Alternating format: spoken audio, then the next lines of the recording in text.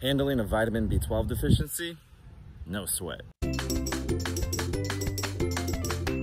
I had what you call anhidrosis, which is where you don't sweat. Jafar, can you hurry up? I'm dying in here. And that was definitely one of the strangest symptoms because it just happened out of the blue, and that's not something you would typically think that would happen. But again, nerves affect everything. So, and vitamin B12 deficiency affects the nerves, which then, of course, affects everything.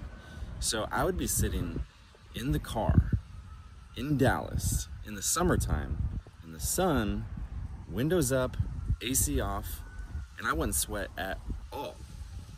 Like not even not even a little bit, not even armpit sweat, nothing.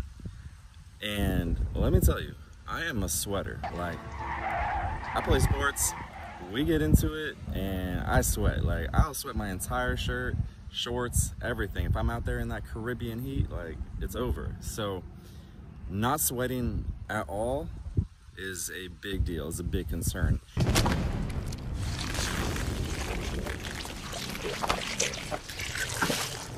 It might seem like a blessing. It might be like, whoa, he doesn't sweat at all. That's awesome. But it made me, it made me have thoughts like, would I be able to go to the Caribbean again?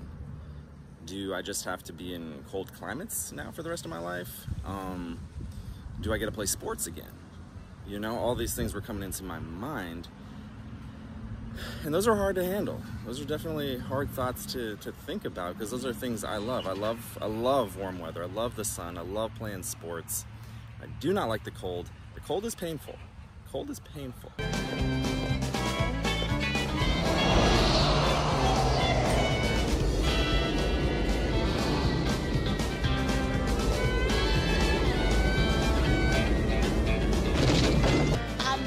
Smoking. I'm breathing. And on top of all that, sweating is really healthy. It cleanses toxins through your pores and that boosts your immune system.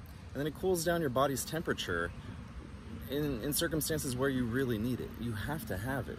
So, super healthy function of your body that you have to have. However, needless to say, uh, all the sweat came back, thank God, uh, after I got on the vitamin B12 injections. So those injections like really cleared up everything. And that was one of the first symptoms to leave because it was one of my last symptoms to come on. So I'm very grateful for that. Please subscribe, please be a part of this community. Please communicate to the rest of us the things you're going through and how you've healed, how you've gotten better. Or if you're struggling with something vitamin B12 deficiency related, please reach out and we would all love to help. God bless.